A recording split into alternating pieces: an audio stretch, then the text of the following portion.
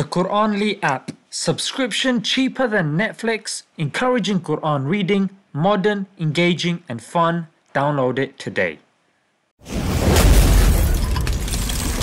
That's a genius.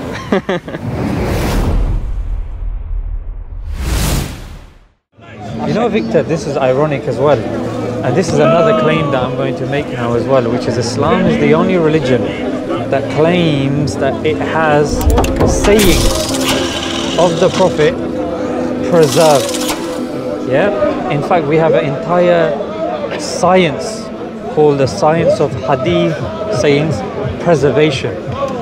And we can confidently say we have 40 to 60,000 sayings of the Prophet compiled in 50 different books.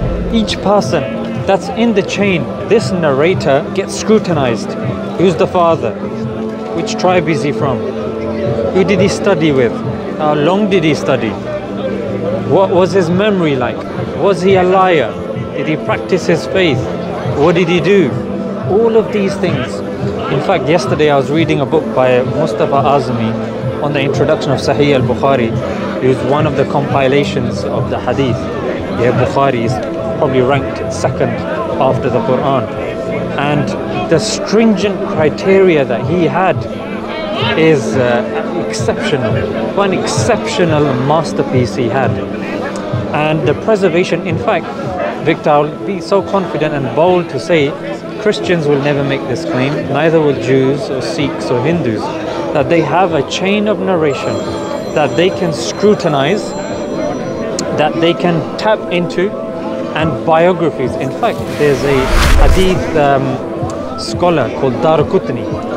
He said because in these chains there are 20,000 narrators, yeah, give and take. And he says if all of these 20,000 narrators were standing in front of me, I can tell you their name, I can tell you their father's name, I can tell you their tribe, I can tell you their if they're reliable or not. So this is Darqutni. And his compilation isn't even regarded as the top six. Like he doesn't even come in the top six. Imagine now the top six.